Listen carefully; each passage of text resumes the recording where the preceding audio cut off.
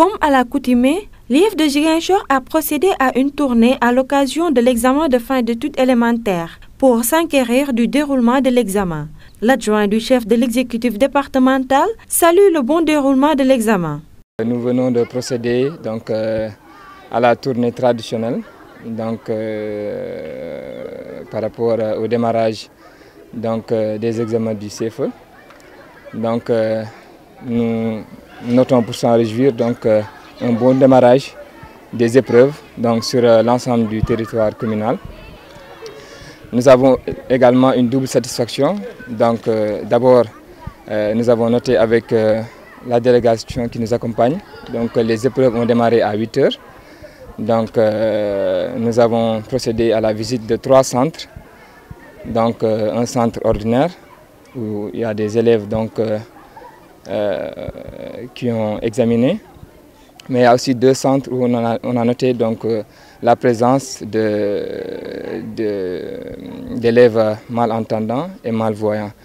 Donc sur ce plan, on a noté vraiment une très belle organisation. Donc euh, c'est le lieu de féliciter l'IEF et l'ensemble de ses collaborateurs. La particularité de cet examen a été soulignée par le secrétaire général de l'IEF. La particularité, si on peut parler de particularité, euh, c'est que nous avons ciblé des centres qui nous présentent au-delà des candidats ordinaires, des centres qui nous présentent aussi des candidats avec une certaine spécificité.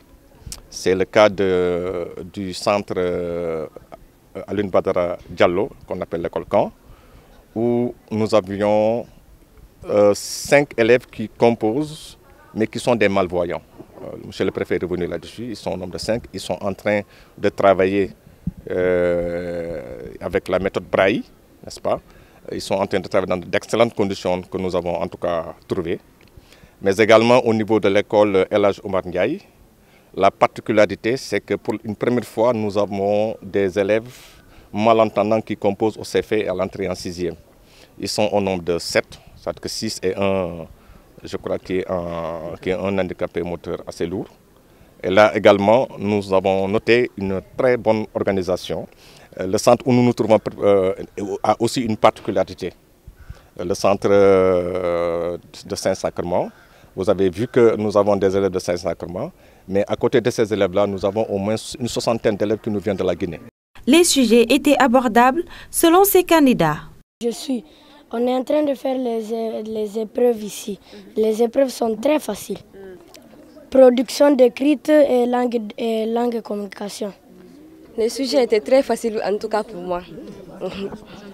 Dans le département de Giguinchor, ils sont 7132 candidats, 3691 filles et 3441 garçons à la recherche de leur première sésame qui ouvre la voie au cycle moyen.